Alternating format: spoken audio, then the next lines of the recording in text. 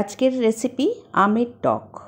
খুব সহজ একটা রান্না আর খুবই ভালো লাগে। এই সময় প্রচুর আম পাওয়া যায় কাঁচা আম বাজারে। তো চলো কীভাবে বানিয়েছি? খুব ভালো লাগে খেতে। ভিডিওটা ভালো লাগলে অতি অবশ্যই লাইক শেয়ার করো। এখানে একটা কড়াই নিয়েছি। কড়াইটা গরম হওয়ার পর এর মধ্যে দিয়ে দিয়েছি পাঁচ ফোড়ন। পাঁচ ফোড়ন দেওয়ার পর পাঁচ ফোড়নটাকে একটু হালকা ভেজে নিচ্ছি। পাঁচ ফোড়নটা ভাজা হয়ে গেলে পরে একটা সুন্দর গন্ধ বেরোবে। তারপর এটা থালার মধ্যে ঠান্ডা করে এইভাবে গুঁড়ো করে নিচ্ছি। যেহেতু অল্প পাঁচ ফোড়ন মিক্সিতে গুঁড়ো করা যাবে না সেই জন্য এইভাবে গুঁড়ো করে নিলাম। এবার এটা সাইড করে রেখে দিচ্ছি। এবার দুটো আম নিয়ে নিয়েছি। আম দুটোকে ভালো করে ধুয়ে দিয়ে প্রথমে আমের বোটাগুলোকে ভালো করে ছাড়িয়ে আমের খোসাটাকে খুব ভালো করে ছাড়িয়ে নেব। আমার চ্যানেলে অনেক রকম আমের চাটনি দেওয়া আছে। ফলো করো, ভালো লাগে খেতে। খুবই সুন্দর হয় খেতে। আর এটা আমের টক, এটা আমি দিলাম তোমাদের এই সময় প্রচুর কাঁচা আম ওঠে বাজারে। তো এটাকে আমি ছোট ছোট করে কেটে নিচ্ছি, আটিটা শক্ত, আটিটা আর দিচ্ছি না। সাইড থেকে কেটে কেটে এভাবে লম্বা লম্বা করে কেটে নিয়ে এটা রান্না করব। ঠিক এইভাবে কেটে নেবে। নিয়ে একটা বাটির মধ্যে তুলে নিলাম।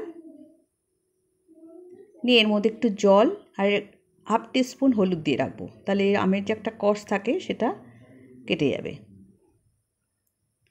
দিয়ে এটা একটু সাইড করে রাখছি।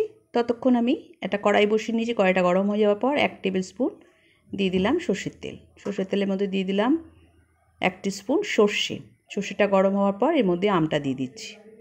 আমটাকে একটু নাড়াচাড়া করে নেব দু মিনিট মতো। তাহলে আমের যে কাঁচা ভাবটা সেটা বেরিয়ে যাবে। আমটা খুব এমনি কচি রয়েছে। তো এর মধ্যে দিয়ে দিলাম এবার জল। জলটা একটু বেশি করে দিলাম যে আমটা সেদ্ধ হবে আর একটু ঝোল রাখব। এবার এটাকে ঢাকা দিয়ে দিচ্ছি আমটা সেদ্ধ হওয়ার জন্য।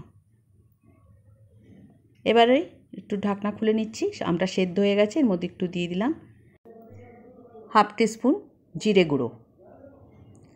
জিরে গুঁড়ো দেওয়ার পর দিয়ে দিচ্ছি চিনি, হাফ কাপ চিনি। চিনিটা যদি একটু বেশি খাও, একটু বাড়িয়ে দেবে। আর দিয়ে দিলাম একটু নুন। হাফ টিস্পুন মতো নুন দিলাম। একটু নুন দিলে পরে মিষ্টিটা ভালো লাগে। এবার এটাকে একটু নাড়াচাড়া করে ফুটিয়ে নেব। একটু ঘন হওয়া পর্যন্ত। তারপর এর মধ্যে দিয়ে দিচ্ছি আদা পাউডার। One teaspoon. আদা পাউডার দিয়ে আর একটু ফুটতে দেবো। একটু ঘন আসলে, ঘন হয়ে আসলে পরে বন্ধ করে দিয়ে এটা একটা বাটিতে ঢেলে দিলাম। বাটিতে ঢেলে দিলাম। এবার এর মধ্যে পাঁচ ফোড়ন গুঁড়ো করে রেখেছিলাম, সেটা ওপর দিয়ে ছড়িয়ে দিয়ে মিশিয়ে দেব। তৈরি হয়ে গেল আমের টক। এইভাবে বানাবে, বানিয়ে খেয়ে দেখো, খুব ভালো লাগে খেতে। যারা সাথে আছো, সাথে থেকো, যারা নতুন বন্ধু হতে চাও, তারা সাবস্ক্রাইব করে নাও। ভিডিওটা ভালো লাগলে লাইক, শেয়ার, সাবস্ক্রাইব করো। আর নতুন নতুন ভিডিও পাওয়ার জন্য বেল আইকনটা ক্লিক করো। ভালো লাগলে কমেন্ট বক্সে কমেন্ট করো আবার একটা ভিডিও নিয়ে আসব।